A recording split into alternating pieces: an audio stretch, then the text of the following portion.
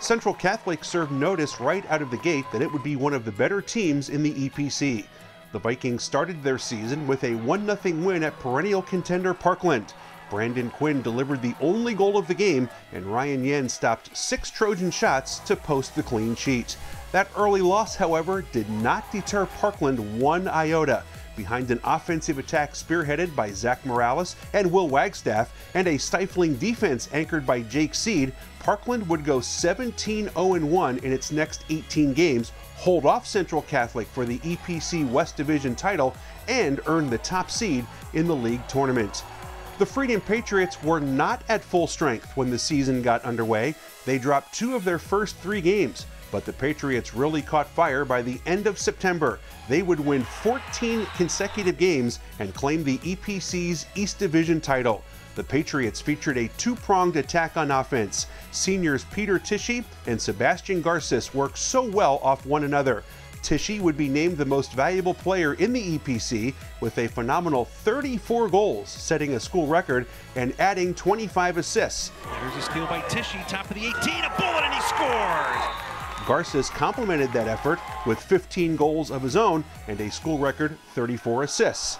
The defense wasn't too shabby either. Freedom posted 12 shutouts, including four straight late in the season. Keeper Tristan Wiley was named third team EPC, and defender Austin Hoffert was named to the first team. Jaden Amato shoots high into the back of the net, the first goal of the game. What, no mention of Emmaus yet? The defending league champion Green Hornets had a very interesting year. They were unbeaten in their first 13 games with 8 wins and 5 ties. But there was some rare turbulence for the team late in the campaign. Playing seven games in 13 days, the fatigued Hornets went 0 2 1 in their final three regular season games and were shut out in each contest. They entered the EPC tournament as the number five seed. Sometimes you see boys with their heads low because it is it is another tie. It's our fifth tie of the season. But uh, coaches stay with us. They'll just keep our heads up. We got to come back harder, fight harder, and uh, put some goals in the back of the net. Let's check in on the Colonial League, where the top four teams each had at least nine wins in league play. Moravian Academy claimed the regular season title with a record of 11 and 1. After an 0 2 start overall, the Lions then rattled off 14 consecutive victories.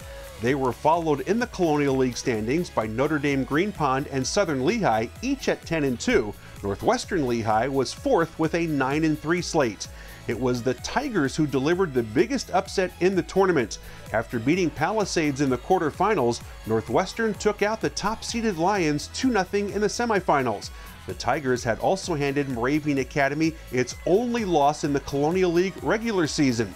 That propelled the Tigers into the championship game, where they bested Southern Lehigh by another 2 0 final to claim the crown. That avenged a 2 1 loss to the Spartans on September 9th. We came out a bit slow, but second half we really picked it up. We started dominating and we got chances and then we capitalized. The league tournament in the EPC featured a very deep field. Parkland, Central Catholic, Freedom, and Nazareth were the top four seeds. In the bottom half of the bracket, it was all Freedom. The 2018 champions routed Easton 6 0 in the quarterfinals.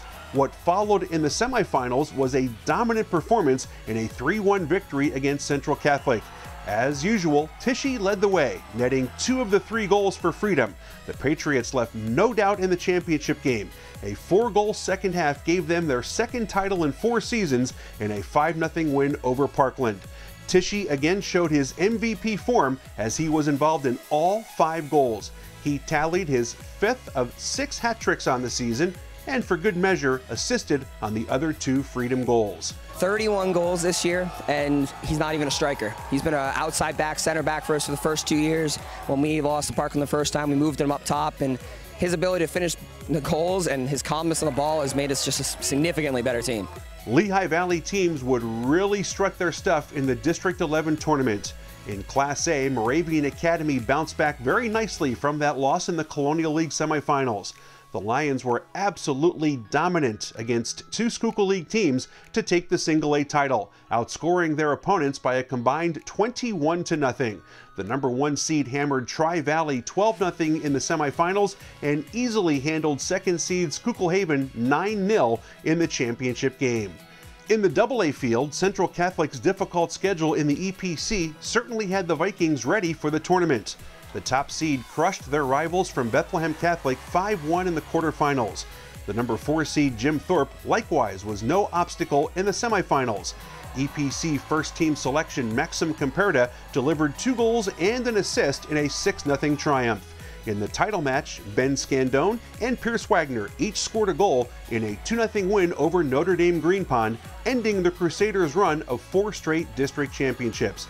It was Central's second district title. This is awesome. Freshman, sophomore, junior year, we lost in the semifinals. So the fact that we could get one for all those guys on those past teams. My brother was on my team freshman year. We lost. Some of my best friends were on the teams last year. So so when they were texting us, good luck. It was just it feels so good that I get to text them that we finally won. At the AAA classification, two familiar foes would meet to decide the championship and the lone state bracket berth from District 11. Number one seed Northwestern took care of East Stroudsburg South in the semifinals, while three seed Southern Lehigh dispatched Blue Mountain to set up an all Colonial League final. The Tigers and Spartans split their first two meetings of the season. Northwestern came out on top in the rubber match with a 3 1 victory to claim district gold. Matt Johnson scored twice for the Tigers to lead them to their third consecutive title. And in 4A, EPC champ Freedom was looking to duplicate its double titles from the 2018 season. A dangerous Emmaus squad was the fourth seed in a deep bracket that featured several teams capable of bringing home the gold. Parkland, the number two seed, faced an outstanding 16 win Nazareth team in the semifinals, a title game berth that came down to the final seconds of overtime. Another drive goes off the post and in! Parkland will win it to go to the championship game. Unbelievable delivery by Heberling. Luke Heberling with the game winning goal at Memorial Field, propelling the Trojans into the district finale.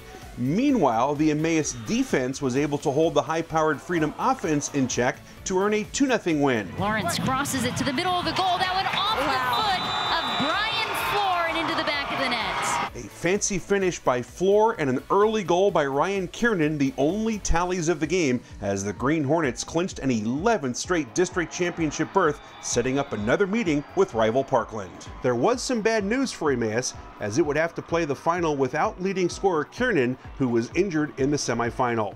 The Green Hornets, though, didn't miss a beat as they took down the Trojans 3 1.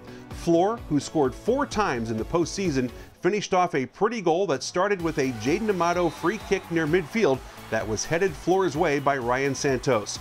It was the third straight district title for Emmaus and the 18th in school history. It was a clean sweep for the Lehigh Valley as area teams captured all four classifications in the District 11 tournament.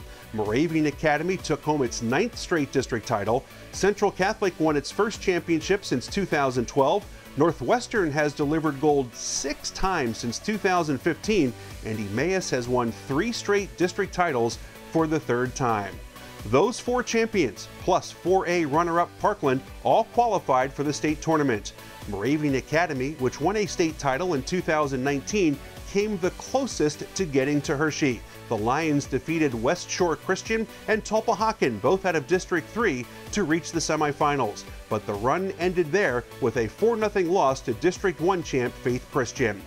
In 2A, Central Catholic won its first round game against Lansdale Catholic 4 1. Junior forward Maxim Comperta, who finished the season with 34 goals, led the way for the Vikings in the opener with his sixth hat trick of the season. Central would fall 3 2 to 2020 champ Lewisburg in the quarterfinals. Northwestern Lehigh's run would end in the second round of the 3A tournament, while both 4A schools suffered losses to District 1 teams in the opening round. Parkland falling to Lower Merion, and despite getting a goal on a header from Jaden Amato, Emmaus fell just shy to Abington 2 1 in overtime we were definitely in it from the start. You know, we knew what it takes after these, you know, especially these four weeks coming into this. You know, the team's been working really hard. Really proud of these guys. Devastating with the loss, but proud of the guys for this season. Five players were recognized as All Staters by the Pennsylvania Soccer Coaches Association.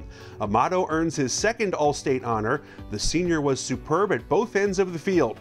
He scored nine goals, five of them game winners, while anchoring the Emmaus defense. The dynamic duo of Garces and Tishy posted some very gaudy offensive numbers. They combined for 49 goals and 59 assists during their senior seasons. Garces had a six assist game and a five assist game. Tishy had more than one point in each of his last 13 games. Bibiano, a senior at Wilson, posted some staggering numbers to earn his accolades. In 19 games, he found the back of the net 38 times while adding a dozen assists. Mazzella, a senior, led Moravian Academy to within one game of another state title appearance. He finished the season with 34 goals, including a five goal game in districts, and added 12 assists. Those five All Staters are all seniors, but there are plenty of talented underclassmen who will try to keep the Lehigh Valley atop District 11 and beyond next year. For the Service Electric Network, I'm Steve Degler.